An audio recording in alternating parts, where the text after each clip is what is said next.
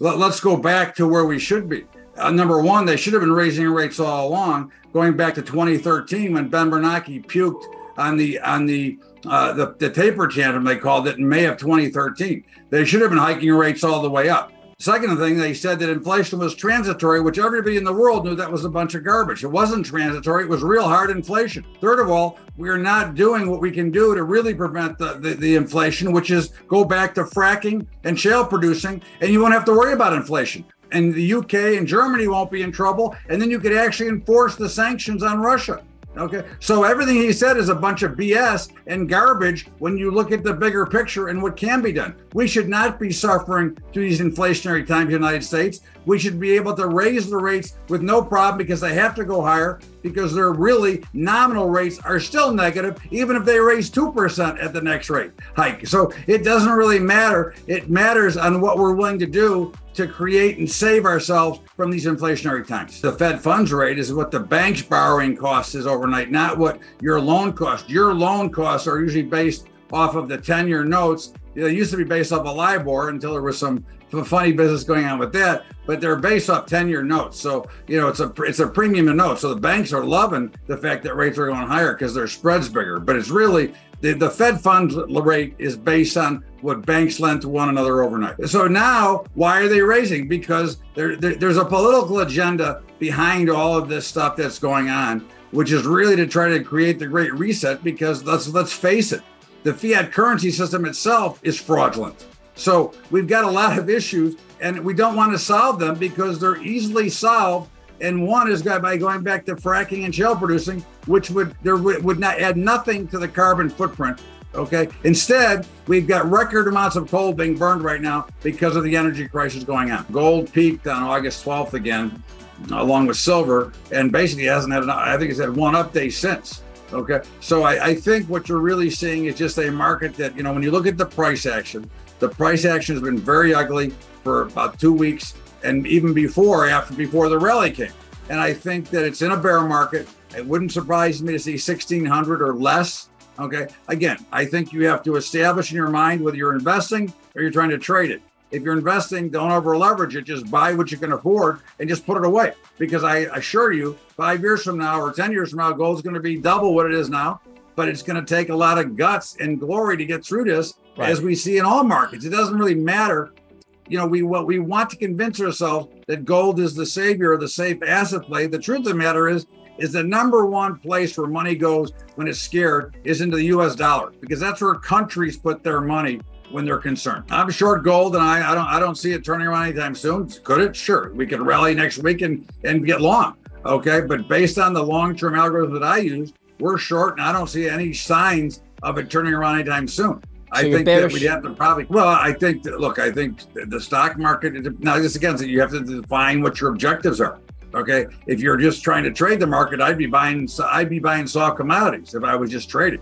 Okay, mm-hmm. if I was investing, I have no problem that the, the equities are soft. I'd be looking for some value plays there that I know I could hold on to. Same thing with gold. I'd be a buyer of gold, silver, and platinum if I could afford, afford to hold them and was not leveraging. And I'm not talking about buying mining stocks or buying stocks. I'm talking about buying the hard assets that you can either store at Kitco or put in your safe at home, whatever you want to do with it. I'm talking about the real hard asset, but you got to have, first of all, a cast iron constitution to do that. And you got to be willing to hold it and not be able to not worry about panicking out if it goes lower, because it's probably going lower but it's really just a buying opportunity, in my opinion. It costs the average American average American taxpayer two thousand dollars a year to finance this ridiculous program, which, by the way, is unconstitutional and will get kicked by the Supreme Court. There is no way that they're going to be able to, to run this program through. Okay, it's going to be kicked at the Supreme Court level. These these loans are not going to be waived. They're not going to be forgiven, and so the American taxpayer is not going to be stuck paying the two thousand per taxpayer. But you know, again, it's it's obviously we're getting closer to an election. We're doing everything we can uh, from from that side of the aisle to make sure we get reelected, which they won't. Uh, because they've destroyed this economy. But this is this will never get through the Supreme Court. You can bet on. There's a law at the way that the government's being run, and and if we were in a pandemic and still declared as such, which we are not, then the, the, president has a little bit more power to make one of these programs stick, but it would still have to clear through the Supreme Court. But based on what is being said and where we are right now, it is truly an unconstitutional uh, amendment or whatever he's trying to do, whatever you want to call it. Okay. And if you read the Constitution, which is obviously very dry and wry, but in the meantime, it will tell you that this cannot be done under the current circumstances and what is based in the United States of America. I want my money back. I just paid five hundred thousand. Let me get my money back for my two kids. I paid five hundred thousand. Where's my money? I didn't take any loans. Okay, you know, again, this is ridiculous. You want the college, you're pushing college. You know, again, you can't change the rules as they keep trying to do. They keep trying to switch the ball. The same thing with the recession, right? Two consecutive quarters no longer considered a recession. Well, if you look at your own bank balance, you know it's in a, we're in a recession.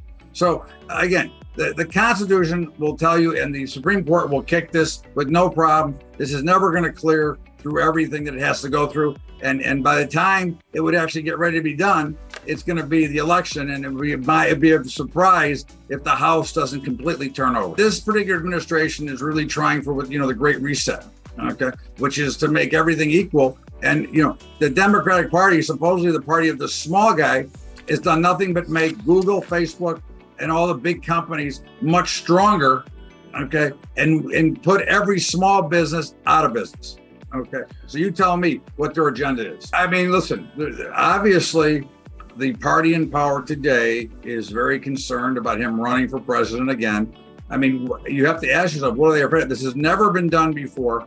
Now, again, did he take that? I have no idea what he did. Okay. And I don't, and I'm not supporting either side here. I'm just saying that it's never been done before. And for for seven years now, since the day he announced that he was going to run for president the first time, he has been manhandled like crazy by the press, by the FBI, by everybody.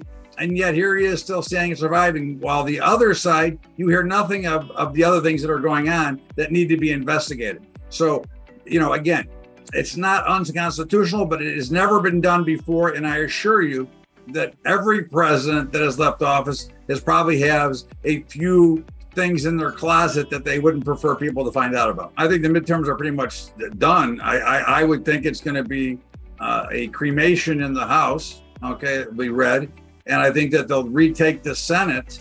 Okay, but they're not going to get to the. I don't think they're going to get to the 60 votes they need in the Senate to actually have total control, which is better. Look, I don't care what party you belong to. I belong to the Libertarian Party, but I don't care who you belong to. I think you always want a mixed government because you need to have some checks and balances, which we have none right now. Go back to fracking oil and shale producing natural gas, and that would be the end of it. We would, we inflation would go away, America would prosper, the UK would be out of trouble, Germany would be out of trouble, Russia would be in trouble because those sanctions would actually mean something that we put on them. Okay, and we'd be back to a prospering society.